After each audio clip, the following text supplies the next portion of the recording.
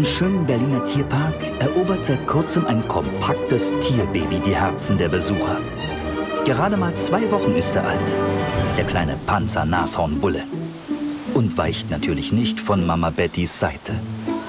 Reviertierpfleger Mario Hammerschmidt hält Ausschau nach seinem jüngsten Schützling.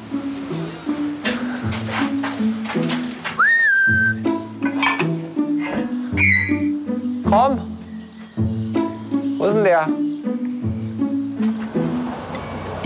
Mittlerweile einen Namen.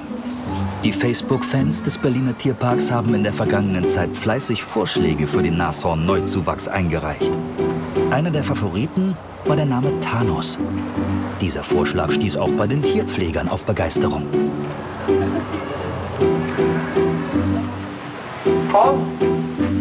Thanos bedeutet übrigens der Unsterbliche. Auch bei den Besuchern ist der kleine Nashornbulle jetzt schon unsterblich beliebt. Jetzt können wir am Blick der Besucher erkennen, wo das Nashorn ist ungefähr. Thanos ist das sechste Kind der 20-jährigen Nashorndame Betty. Vater Belur ist bereits stolze 25 Jahre alt. Die beiden Eltern-Nashörner werden nur zu Paarungszwecken zueinander geführt. Doch jetzt führt die Neugier die Nashornmutter zu ihrem Tierpfleger. Natürlich zusammen mit dem jüngsten Sohn. Gleich kommt's, ich sehe schon den Schatten. Nicht erschrecken.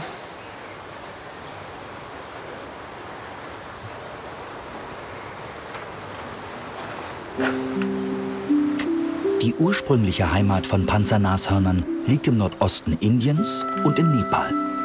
Dort sind sie vom Aussterben bedroht. Weltweit leben nur noch weniger als 3000 der Tiere in freier Wildbahn. Du isst ja schon Heu, ne? Ja, du isst doch Heu. Die Eltern von Thanos sind Teil eines internationalen Zuchtprogramms, das dem Schutz und der Erhaltung der Panzernashörner dient. Ihr Nachwuchs hat hingegen ganz andere Probleme. Der ist jetzt auch wirklich schon selbstständiger geworden. Auch morgens, wenn wir die, äh, wir schmeißen die jetzt logischerweise, wenn hier morgen schon zwei Grad sind, in den ersten Wochen nicht sofort raus, wenn wir da sind, sondern warten, bis hier die Sonne rumkommt, weil das ist so die Schattenseite morgens. Und dann duschen wir sie morgens nochmal, machen die Box sauber und alles. Und sein größter Spaß ist jetzt immer in die Nachbarbox zu rennen. Also er kommt quasi in der Duschbox durch die Gitter auf der einen Seite. Und dann geht er immer rüber, weil er denkt, da wird er nicht abgeduscht. Dann regt sich seine Mutti immer furchtbar auf, dass er zurückkommen soll. Und das findet er mal lustig, sieht man mal richtig, wenn er die Ohren so spielt. So, hm, hm, hm. Kannst gar nichts machen, Mutti. Hm? Schon niedlich. Weißt du mich jetzt?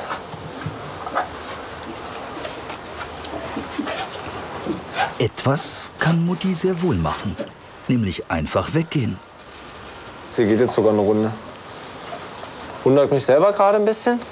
Schritt zurück, aber nicht wegrennen. Äh, aber die weiß ja auch, die kommt ja nicht durch. Jetzt geht er mal gucken. Oh, die Mutti ist weg. So gerne Thanos seinen Tierpfleger hat, ohne seine Mutter fühlt sich der Kleine immer noch unwohl.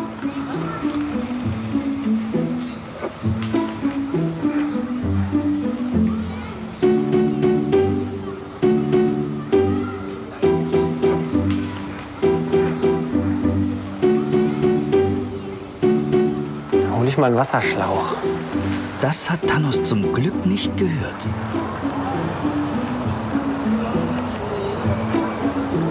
Auf eine Dusche hat das Nashornkind nämlich noch weniger Lust als auf eine sturmfreie Bude. Zumindest noch.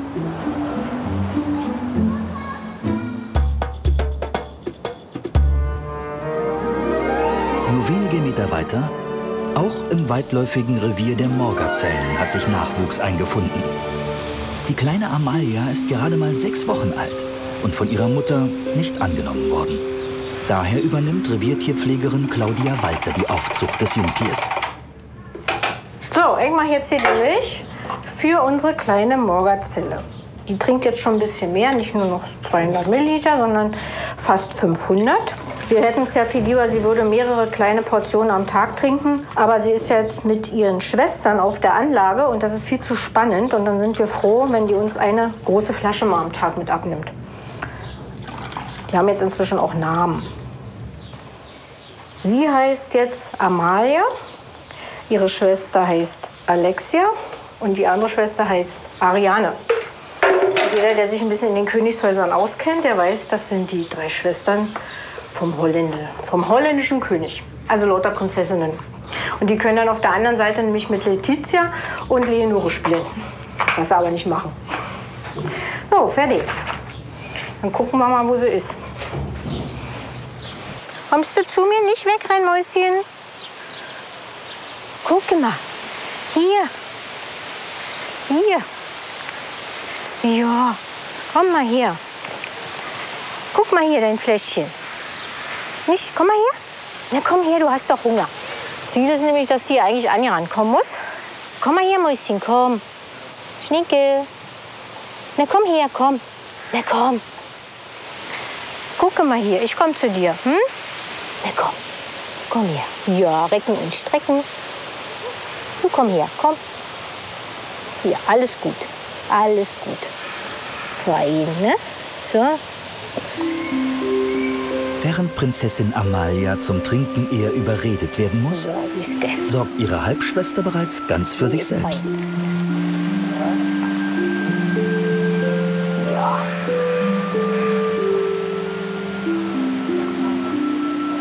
So ist schick. Schön trinken. Und jetzt trinkt die hier wirklich in einem Zug alles aus. Die Flasche ist völlig platt danach. Aber man muss ihm ihr nicht mehr hinterherrennen. Anfangs ist man hier auf allen Vieren hinterhergekrochen, weil man wollte, nun komm doch mal bitte her, trink doch mal. Aber da wollte sie lieber immer spielen ne, mit deinen Schwestern. Hast du völlig vergessen, dass du Hunger haben könntest. Amalias Schwestern trinken stets bei der Mutter, sofern die in der richtigen Stimmung dafür ist. Wenn nicht, gibt's ja immer noch leckeres, frisches Gras. Du, mein Arm ist nicht länger, da muss schon herkommen.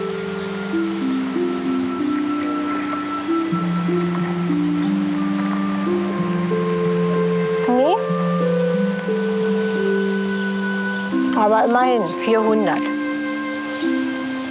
Irgendwann wird es noch abends und morgens eine Flasche geben. Man sieht natürlich deutlich, dass sie etwas kleiner ist, aber es ist eben bei künstlichen Aufzuchten so. Aber sie lernt natürlich auch alles von den Morgerzellen, wenn man sie eben bei der Gruppe lässt und sie nicht eben rausnimmt. Mit nach Hause nehmen ist sowieso ein bisschen schwierig, aber, ja, aber sie lernt alles. Sie lernt alles, wie man sich unterhält, wie man sich verhalten muss. Und sie hat eben Spielkameraden. Morgazellen sind etwas ganz Besonderes. In freier Wildbahn waren sie fast ausgestorben. Aber einzelne Zoos bemühen sich um die Züchtung und Arterhaltung der seltenen Tiere. Das Aquarium des Berliner Zoos. Hier gibt es im Insektarium äußerst exotische Tiere zu bestaunen, wie zum Beispiel den Rosenkäfer, der ursprünglich in den Tropen beheimatet ist. Tierpfleger Shahin Tawangari beschäftigt sich seit längerem mit der Züchtung exotischer Käfer. Eine anspruchsvolle Aufgabe. Man muss ein bisschen vorsichtig sein. Also hier, der ist intakt. So soll das aussehen. aussehen. Und hier haben wir noch einen Engerling. Und was ich jetzt hier im Grunde genommen mache, ist halt, dass ich äh, regelmäßig kontrolliere, wie sieht das Substrat aus. Ähm, zum einen, um halt zu schauen, äh, ob da noch alle Bestandteile drin sind, die die Engerlinge brauchen. Oder ob ich was nachfüttern muss. Und zum anderen eben, um zu schauen, ob hier halt so eine Puppenkokons drin sind, die ich dann absammle und dann speziell unterbringe, damit die ganz in Ruhe schlüpfen können. Als Engerlinge bezeichnet man die Larven der Blattraumkäfer. Das Larvenstadium dieser Insektenart kann mehrere Monate oder sogar Jahre dauern.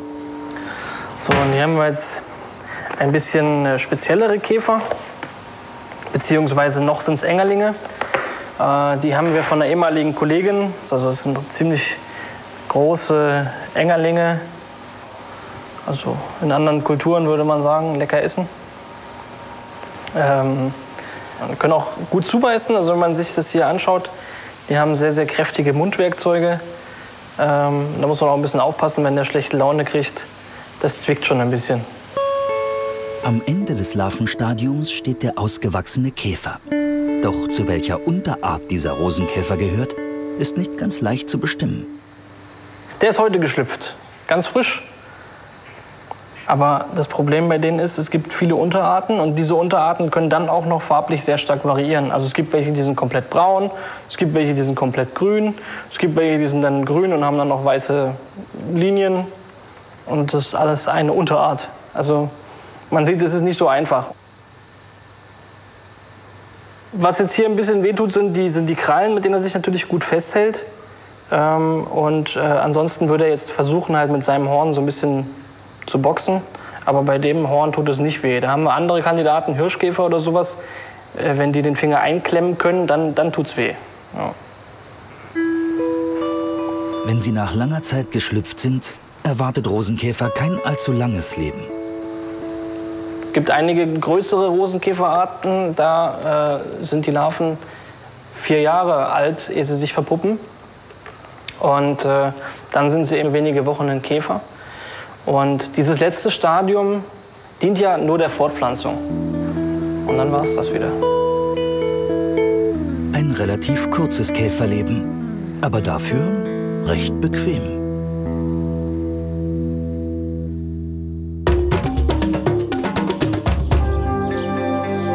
Elefantenhaus des Berliner Tierparks erwartet Panzernashorn Betty und Sohn Thanos eine Dusche. Ich dusche ja nur die Mutti. Brauchst dich ja nicht aufregen. Nashornduschen muss man immer in der Hocke machen. Das geht gar nicht anders. Er wirkt ein bisschen wasserscheu, aber im Buch steht, das Panzernashorn ist ein Sumpfbewohner. Ja, Betty.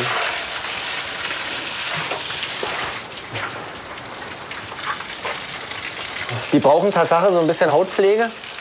Und das heißt, die werden normalerweise zweimal am Tag geduscht bei uns. Und hat eben neben dem Effekt, dass die Haut da ein bisschen gesund und geschmeidig bleibt, auch noch den Effekt, dass er, wenn sie von draußen reinkommen, nicht eine Tonne Sand mit reinschleppen und Dreck mit reinschleppen. Und man hat dann morgens Tatsache ein bisschen mehr, nicht ganz so viel zu kerchern, als würde man die nicht duschen.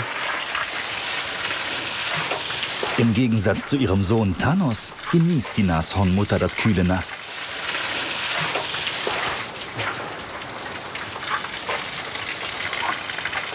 So, jetzt reicht's.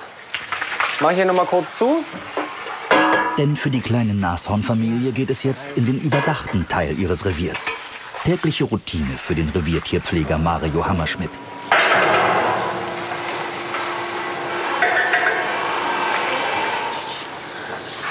Dass ich so Grimassen ziehe, habe ich von meiner Mutter. Schreckliche Angewohnheit. Genauso wie der Wasserschlauch. Zumindest für Thanos. Voll ins Gesicht, immer rochbar. Betty, komm mal rein, dann kommt schon hinterher getrottelt, dein Kind. Ja, Licht ist an. Ja, ja, ich hab Angst vor dir, hau ab. Komm einfach durch. Die Lampe ist an. Doch nicht nur die Lampe stört Betty. Auch mit dem Wasser scheint heute irgendetwas nicht zu stimmen. Sie sind auf den Schlauch gelatscht und wundert sich, dass es so komisch zischt. Na? Kann sie nicht reinkommen, sagt sie. Komm, jetzt sei nicht albern. Du bist so eine gute Mutter. Hast du dein Kind vergessen, ganz blödi? Nee, da kommt's. Na klar, denn wohin die Mutter auch geht, Thanos folgt ihr. Kleiner. Das gilt auch für das Gewicht des gerade mal zwei Wochen alten Panzernashornkindes. Ja, der wird auf jeden Fall schon zugenommen haben. Also das Normal ist es bei Jungtieren so, dass die bis zu zehn Tagen ja abnehmen und dann sollten sie spätestens wieder ihr Geburtsgewicht haben. Und das hat er auf jeden Fall. Der sieht gesund aus. Der sieht ja auch gefühlt schon doppelt so groß aus, wie er war. Aber wir haben den ja, wir haben den auch nicht gemessen, weil es sind jetzt die ersten Tage, wo der auch herkommt und wo wir den ein bisschen anfassen können. Am Anfang war der doch noch scheu. Doch mittlerweile gewöhnt sich der Kleine an das Leben im Berliner Tierpark. Die vom Aussterben gefährdeten Panzernashörner können über 40 Jahre alt werden. Die Zeichen stehen also gut für ein langes Leben des kleinen Thanos. An der Seite von Mutter Betty.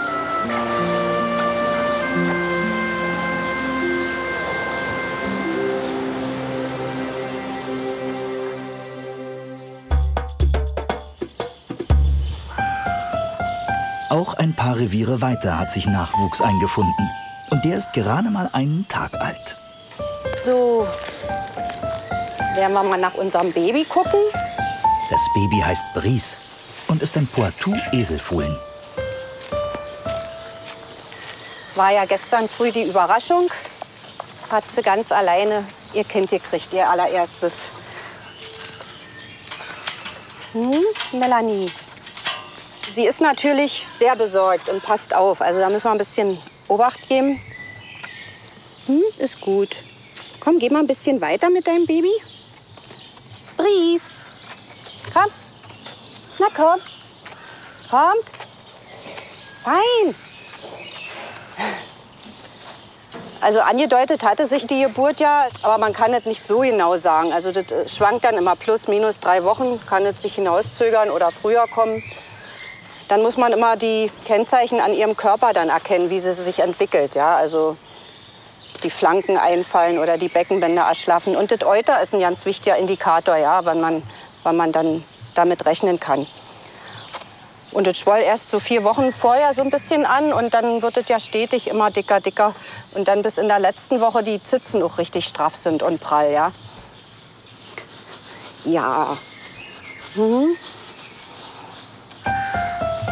Kaum auf die Welt gekommen, hat Bries sich schnell gut zurechtgefunden. Der wusste auch gleich, wo das Euter ist, die Milchbar. Also da brauchte ich mir keine Sorgen mehr machen. Also war ich überglücklich, dass das so gut geklappt hat. Gestern war er ja noch ganz frisch und ich habe beobachtet, dass, dass er den ganzen Tag auf dem Bein war. Er hat sich gar nicht einmal hingelegt zum Schlafen und sie ist dementsprechend auch nicht zum Fressen gekommen. Und nachmittags hat, mich, hat mir das dann gereicht. Ich dachte, nee, der muss da auch mal schlafen. So kleine Babys müssen ja viel schlafen. Und da habe ich ihn dann hindirigiert, da zur Futterplattform, wo das ganze Heu liegt und haben ihn einfach reingelegt ins Heu. Und da ist er auch liegen geblieben und sie hat dann auch erst mal gleich angefangen zu fressen. Also war ja ein Zeichen, dass sie in Sorge um ihre Fohlen nicht zum Fressen gekommen ist. Ja, nimm mit. Mutter ist eben eine besorgte Mutter, der ihr Baby wichtiger ist als Fressen. Feine. Möchtest du mal was essen? Hm? Komm mal mit. Na, komm mal mit. Hier ist dein Heu. Gucke mal. Darfst du nicht vergessen. Na, Bries. Hm? Iss mal was. Du brauchst es jetzt. Hm? Ja. Du musst ja Milch produzieren. Meine Gute. Hm? Poitou-Esel verdanken ihren Namen dem Gebiet Poitou im Westen Frankreichs. Sie sind die schwerste Eselrasse der Welt und können über 450 Kilogramm wiegen. Ihr Bestand ist gefährdet. Umso schöner ist die Ankunft von Fohlen Bries.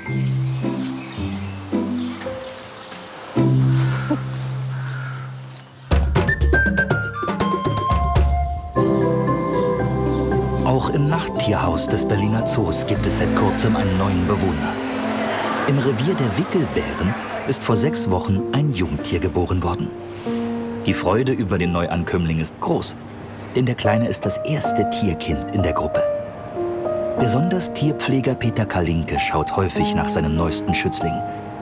Da Wickelbären sehr scheue Tiere sind, ist das allerdings nicht immer leicht.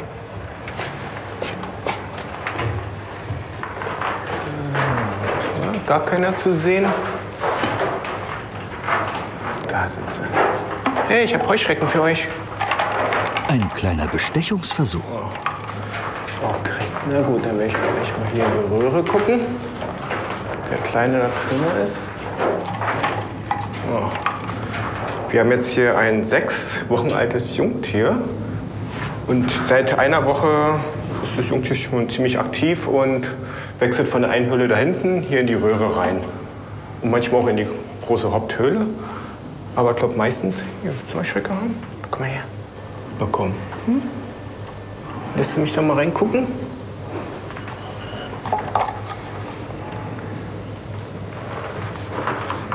So, dann machen wir Platz. Geh mal zur Seite, ich sehe gar nichts. Boah. Hm, natürlich verstopft jetzt die Röhre. Da werde ich wohl mal hinten in die Röhre gucken. Erstmal von der anderen Seite, in der Hoffnung, dass ich dann endlich mal das Jungtier sehe. So, dann machen wir Platz. Ich würde mich jetzt gerne mal den Kleinen sehen. Du bist mitten im Weg. Los, komm mal raus. Für die filmischen Ambitionen seines Tierpflegers hat dieser Wickelbär offensichtlich nur wenig Begeisterung übrig.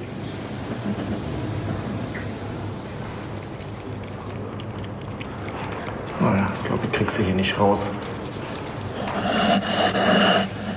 An anderen Tagen hatte Peter Kalinke schon mehr Glück. Das Kleine habe ich schon mal gesehen. Ich habe hier sogar mal Fotos gemacht, wo er so komplett mal draußen war. Kann ja mal die Bilder zeigen, falls sich irgendjemand dafür interessiert. Da ist er gerade bei seiner Mutter, das erste Mal, wo er draußen war. Vorher war er wirklich nur in der Höhle. Und da habe ich ihn eigentlich in der Höhle wirklich nur in dieser Schlafposition gesehen. Das war das Einzige, was ich wirklich fast sechs Wochen lang nur gesehen habe. Ein Jungtier, was zusammengerollt liegt und schläft. Na gut, aber ich sage, wir gucken mal hinten in die Höhle. Neuer Versuch. Unter den wachsamen Augen der restlichen Bewohner. Ja, da schläft's. Schlaf der Gerechten. Die Suche hat sich gelohnt. Das Jungtier liegt gesund, aber müde in einer der Schlafboxen.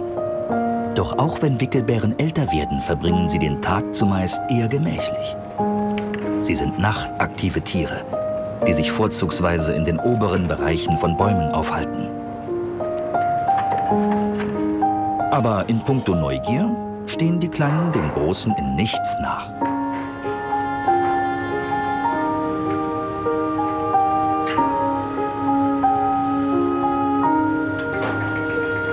Außer natürlich, sie sind erst wenige Wochen alt.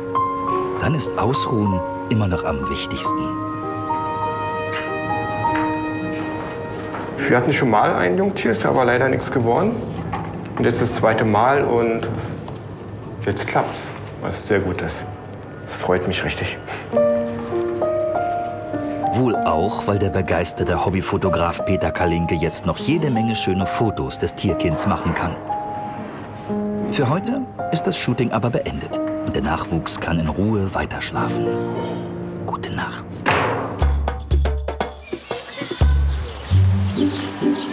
Nicht weit entfernt im Revier der Wiesente heißt es Essen fassen für Groß und Klein. So, ihr Süßen. Haut rein, Leute. Wobei Klein in diesem Fall auch schon relativ groß ist. Drei Jungtiere bereichern das Gehege der europäischen Bisons. Reviertierpfleger Marco König ist zufrieden. In meiner Zeit, wo ich jetzt hier bin, haben wir eigentlich jedes Jahr Jungtiere bekommen. Und äh, wir haben auch sehr zuverlässige Zuchtkühe, die auch regelmäßig bringen. Das war auch vor meiner Zeit schon so. Da haben wir auch eigentlich immer Bisons und Wisente gezüchtet. Dafür ist Berlin auch äh, bekannt. Und ja, unsere Kühe sind jetzt noch im besten Alter. Deswegen gehe ich davon aus, dass es auch in naher Zukunft so weitergehen wird. Da, wo die Tiere geboren sind, dessen Anfangsbuchstaben tragen sie auch. Das ist der Berthold. Man beachte BE. Rechts neben dem Berthold steht die Becky. Das ist die vom letzten Jahr. Daneben steht die Benita. Und die Mama von den dreien, das ist die Belinda. Und der Bulle, der heißt Spretan, der kommt aus Springe. Das ergibt Sinn. Auch im Reich der Bisons sorgt die Bürokratie für eine gewisse Ordnung. Neun Monate hat man eigentlich bei allen Wildrindern. Da könnte man dann auch langsam daran denken, das Kalb dann auch mal der Mutter wegzunehmen. Und dass die Mutter sich dann auch auf die neue Geburt vorbereiten kann, weil die steht dann meistens auch unmittelbar an. So, also ungefähr einen Monat nachdem sie geworfen hat, ist sie nämlich auch schon wieder in Deckbereitschaft für den Bullen. Das heißt, die Zeit, in der sie säugt und in der sie tragend ist, überschneidet sich. Und dann sollte man ihr schon noch ein bisschen Zeit gönnen, dass dann das alte Jungtier dann auch mal langsam entwöhnt wird und von ihr ein bisschen Abstand hat und dass sie sich dann auf das Neue konzentrieren kann.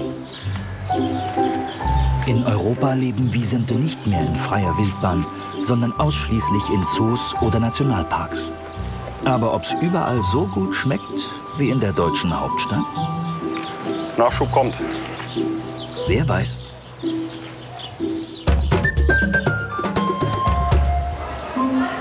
Wenige Meter weiter herrscht Aufregung im Nachttierhaus des Zoos. Genauer gesagt im Revier der Nachtaffen. Hier lebt seit drei Monaten ein Jungtier, das heute gechippt werden soll.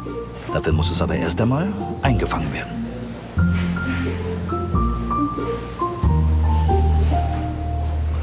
So. Buck, buck, buck. Ah, siehst du, haben schon alle abgerafft. Ja. Doch wo ist das Tierkind überhaupt? Gut. Hier ist er. Wow. Sehr schön. Auf Anhieb erfolgreich. Na, das Ding ja heute wirklich einfach. Wir haben da schon, weiß ich wie lange, und der ist gleich heute ins Netz gesprungen. Also Glück. Glück für uns, auch für ihn, das ist ja auch weniger Stress. Kriegt der oder sie einen Chip? Auch das Geheimnis wird gleich gelüstet. So, hier ist er schon. Prima, es ging ja schnell. Ja. Okay, in der Zwischenzeit schon mal was vorbereitet. Lass mal sehen. Setzen hier, Mario. Oh, ja, fein. Nicht beißen. So, Erstmal gucken wir uns genau. Ja. Komm, halt dich mal Das schön ist fest immer nicht hier. so einfach. Das ist ein Männchen. Kann man ganz deutlich sehen. Da. Okay. Warte, ich mach noch meine Hand hier als Schutz. Ja. So. Mal eine sehr straffe Haut hier. Ein kleiner Stich und schon ist das Nachtaffenjungtier gechippt. Sehr schön. Müssen wir so ein bisschen verschieben gegen den Einstich, weil gerade die Äffchen sind sehr geschickt mit den Fingern. Und wenn die merken, das stört sie irgendwas, dann popeln sie so lange, dass sie auch manchmal den Chip durchaus durch den Stichkanal wieder rausfummeln können. Ja, das hatten wir so ja schon. Ja, ja. So, und jetzt kriegt er noch eine prophylaktische Wurmbehandlung. Darf er wieder zurück.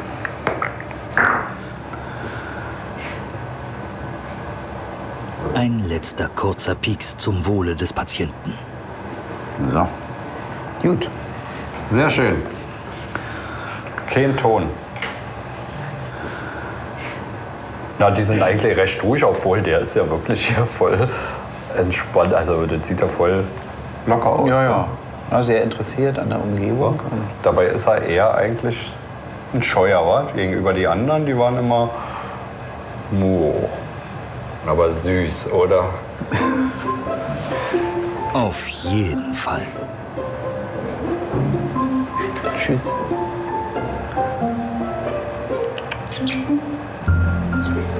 Aber möchte das Kleine zurück zu seiner Familie.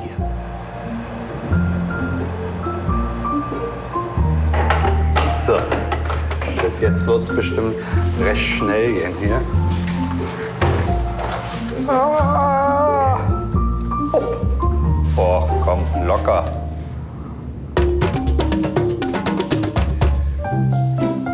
Auch im Eselrevier des Zoos gibt es seit kurzem ein neues Gesicht. Jungtier Peppino teilt sich zusammen mit Mutter Heidi und Tante Clara ein Gehege. Die Tierpfleger freuen sich über den Nachwuchs. Guck mal, da steht sie. Ist doch schön, wa? Ja, voll süß. Die Heidi. Die Heidi und der Peppino. Tja, Peppino und die Heidi. Offensichtlich mag da jemand Peppino sehr. Ja, der, ist- uh, der hat Kraft. Schöner Kämpfer. Mann, hat der Kraft. Das ist ein Springbock. Springesel. Da, guck mal, Springbock. Ja, wir, ich mach dir nichts. Ich tu dir wirklich nichts. Ist alles schön. Ja, du mit deiner Schaukelisel. Jetzt nicht vergessen, ich war zwei Jahre alt. Da habe ich sowas zum Schaukeln. Auf Holz natürlich. Und Ja. wir ich spuren davon. Genau. Aber ich konnte nicht so schön springen. Das ist wirklich. Ja, ich höre schon auf. Ist ja gut. Tante sagt, ich soll das nicht machen. Clara, war so schlimm, was ich getan habe? Nö. Doch wie kommt der kleine Peppino eigentlich zu seinem Namen? Peppino aus dem Grunde, weil wir gesagt haben, alle Esel, die geboren werden, müssen hier den Namen, den Buchstaben P als ersten Buchstaben haben. Also von Pico bis Pepe bis äh, Paso Doble haben wir schon fast alle Namen durch. Und haben wir Peppino genannt. Naja, man muss dem Kind einen Namen geben. Nicht nur die Namensfindung ist eine Wissenschaft für sich. Die Esel sind das auch. Esel kann man nicht berechnen. Die sind manchmal ganz schrecklich ähm, anhänglich, da sind sie wieder nachtragend, sind sie eifersüchtig, dann sind sie beleidigt. Dann, äh, also so ein bisschen, ja, wie soll ich sagen, so Frauen, also sind ja auch Frauen. Also man muss eigentlich das bloß verstehen. Dann sind sie eigentlich ganz einfach zu nehmen. Da raus aber wieder Dinger raus hier heute. Naja, Eieiei. man findet sich manchmal in so einem Esel wieder. Ja. So, So, das reicht, jetzt machen wir weiter. ja, gute Idee. So, Kinder, bis mal her. Haben wir unser Bonbon heute für heute, Ja. wa? Haben wir euch heute noch mal besucht. Tschüssi.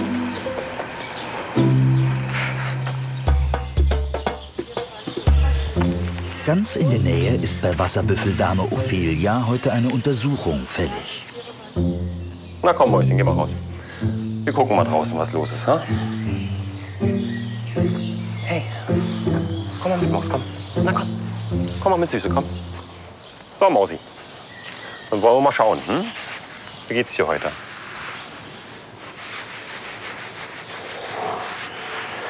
So. Dann werden wir jetzt mal eine schöne Kontrolle durchführen. Wir erwarten jetzt bei der Ophelia nämlich demnächst ein Kalb.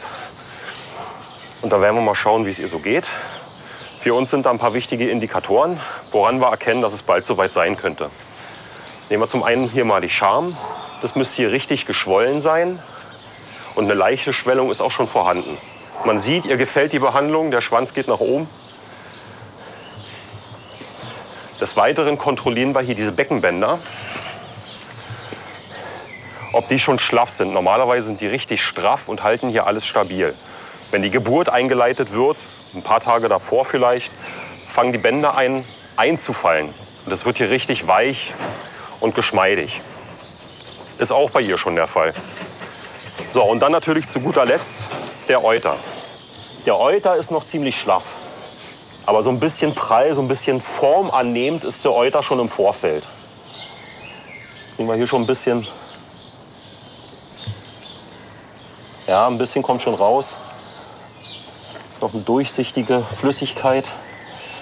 Als erstes kommt auch das Kolostrat, das ist die Erstlingsmilch, die sehr wichtig ist für das Kalb. Die eigentliche Milch kommt wirklich erst, wenn das Kalb schon ein, zwei Tage da ist. Manchmal sogar noch ein bisschen später. Und wir sehen hier, sie ist sehr entspannt, ihr gefällt die Behandlung. Und das genießt sie dann auch ein bisschen. Das Vertrauensverhältnis zu ihr ist auch enorm. Wir gehen sogar in den Stall rein, wenn das Kalb da ist. Da hat sie gar keine Probleme mit, weil sie uns halt vertraut. So, okay. Bei einem solchen Team kann ja auch gar nichts schiefgehen.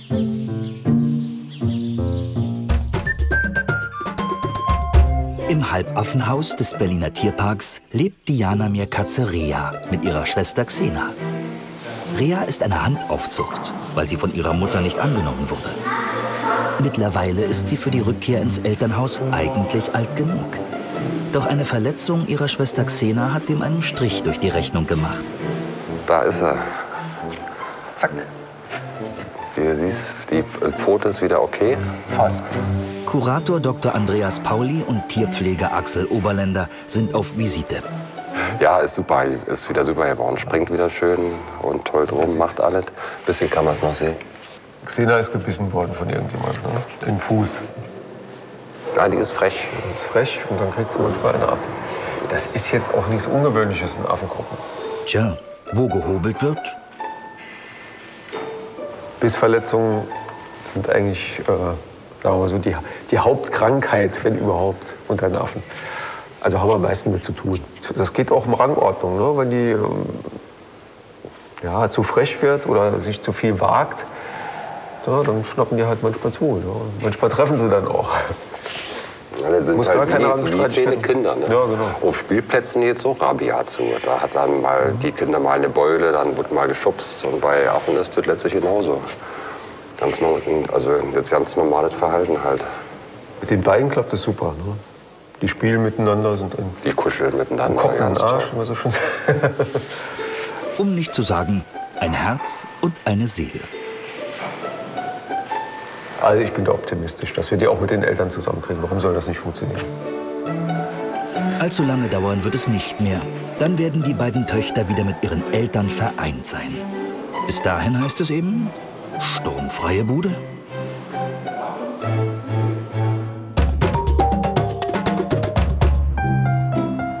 Während die Besucherschlangen vor dem imposanten Eingang des Berliner Zoos immer länger werden, besucht Mario Barabas den Zuwachs im Streichelzoo. Na, ihr Kleen, wie siehst du denn aus? Ist der Sand im Auge? Heißt der Sand im Auge.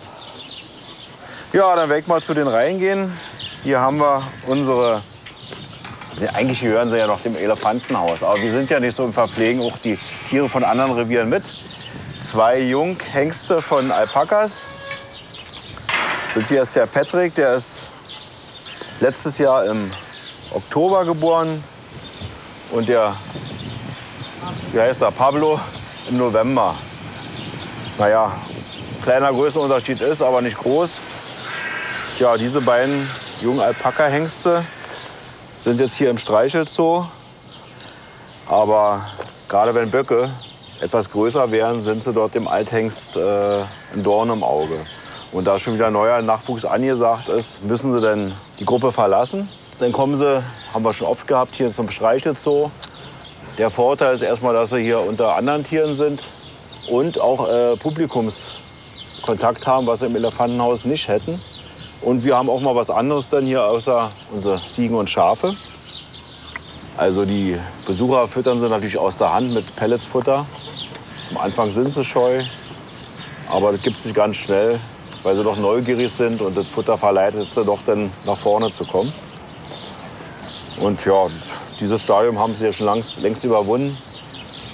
Sind sehr zutraulich geworden. Normalerweise ist das Fell bei den Alpakas viel länger. War auch dieses Jahr der Schäfer bei denen dran und hat so ein bisschen kurz geschoren. Um die Augen sieht man das natürlich, dass da der Schnitt nicht so wäre, wie sich das vielleicht eine Frau oder unser eins beim Friseur erhoffen würde. Also da würde man sein Geld zurückbekommen. Aber das ist ja auch nicht so wichtig. Wichtig ist, dass das äh, lange Fell runterkommt. Na, Froni, du guckst so traurig. Haben wir alle zusammen und Renate ist auch da. Na fein. Renate, komm. Siehste, reicht für alle. Das ist eigentlich nur gut, wenn Tiere sich, genauso wie der Mensch, an andere Mitbewohner gewöhnen. So verlieren sie die Angst und die Scheu. Und die tun sich gegenseitig nichts. Sind ja keine Raubtiere. Obwohl manchmal ein bisschen verfressen, die Kannibalen sind sie schon. Ja? Hast du da verloren? Hier, nimm du das. Ja? Nee? Ohne Eigen, weil es im Sand lag. Nimmst ihr das? Gut. Doch nicht nur Mario Barabas begeistert sich für den Nachwuchs. They don't bite. No, no, no. No, no, no. Tenemos die Makila.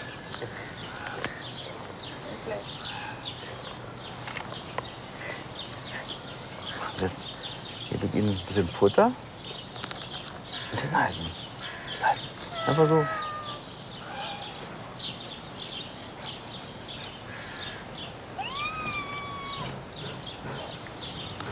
Spaß für Tier und Mensch. Ja, wenn man lacht, ist schon gut. Ein Fotoshooting im Streichelzoo. Auch das gehört zum Tierleben. Tja, es ist mal wieder schön zu sehen, was für ein Spaßfaktor ist. Für viele auch ungewohnt, dass ein Tier so ein Tier aus der Hand frisst. Aber genau das soll ja hier im Streichelzoo auch äh, erreicht werden, dass die Tiere, dass Menschen an Tiere rankommen, die sie sonst nur aus dem, vom Fernsehen aussehen oder von einer, ja, vielleicht mal in einer Wildbahn von weiter Entfernung.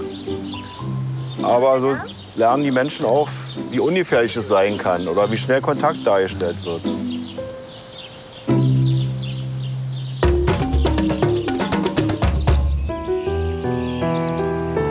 Ins Halbaffenhaus des Berliner Tierparks ist eine Brüllaffenfamilie eingezogen, inklusive ihres nur wenige Wochen alten Babys. Brüllaffen zählen zu den größten Neuweltaffen und gelten als relativ bequem und langsam. Kurator Dr. Andreas Pauli und Tierpfleger Nils Frankenfeld wollen heute schauen, ob sich die Neuankömmlinge bereits gut eingelebt haben. Und natürlich, wie es dem Jungtier geht.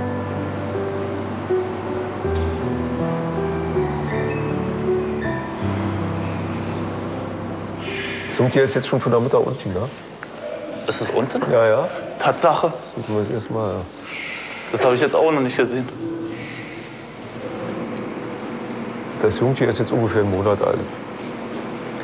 Und ist eigentlich der erste rote Brüllaffe, der in Berlin groß wird jetzt. Und der Gesamtbestand von roten Brüllaffen ist in Europa sind 24 Tiere momentan. Also schon was Seltenes.